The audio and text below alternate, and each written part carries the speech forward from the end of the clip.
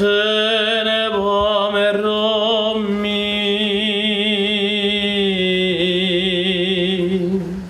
the gathering of the Conference of European Rabbis here in Toulouse in France, uh, there's lots of talk, of, of course, about anti-Semitism, how to deal with anti-Semitism.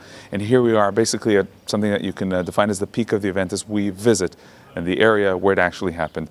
The uh, terrorist attack, the anti-Semitic attack, where four were killed here in the Ortora synagogue in Toulouse.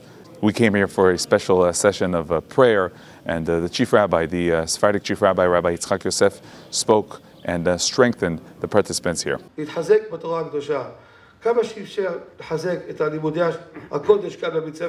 Be stronger in Torah and the fulfillment of the mitzvot. More Torah studies should be studied here in the school. Add more Torah and more Torah.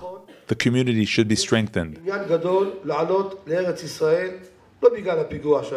Indeed, it is very important to immigrate to Israel, not because of the terror attack, without any connection to that. Always it is important to immigrate to Israel. The rabbis should immigrate at the end. After everyone immigrates, they should come.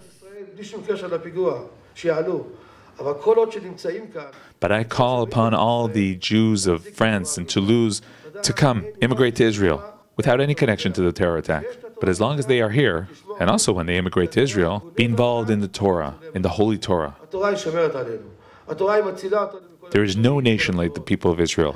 When we have the Torah, the Torah will protect us. Be strong with our Holy Torah.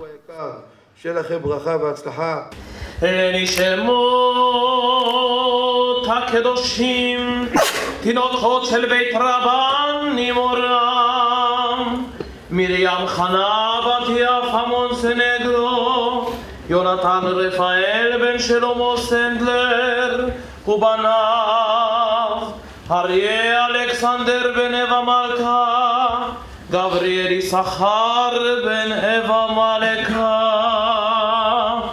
Շենիդ բեխու արյեդեի ամերացխիմ, האסלאמיסטים יימח שמם וזכרם